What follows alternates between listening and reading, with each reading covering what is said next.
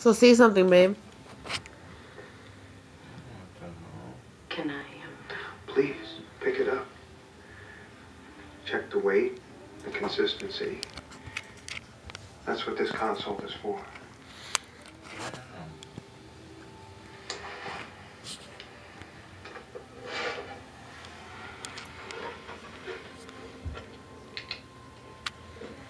I think I'll try the C cup.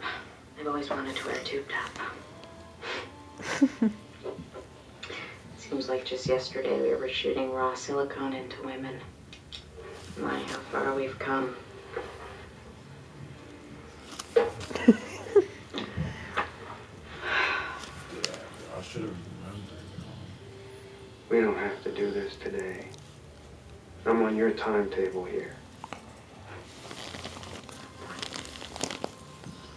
It's nothing you haven't seen before, right? Hmm what do they say? One out of every five women goes through this. That's right. mm.